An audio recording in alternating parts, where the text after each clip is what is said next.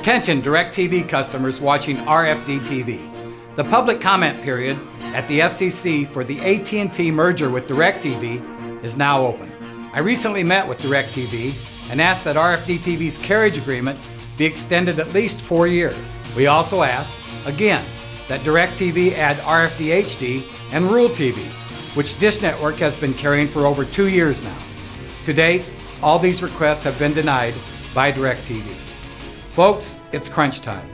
RFD TV needs you to contact the FCC and express your support for rural programming to be a condition for approval of this proposed merger. Contact your senator and congressman too.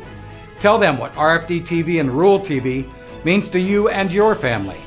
Washington, D.C. needs to hear from the public. We have done everything that we can possibly do. Help protect rural independent programming. Here's how.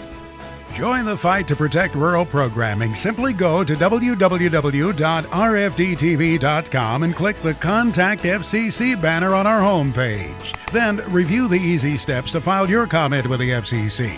Finally, click the red banner on step 5 and you now have the correct FCC form to fill out. Show your support for RFD TV and Rural TV. Ask your friends and neighbors to do the same. Time is running out, so please file your comment today.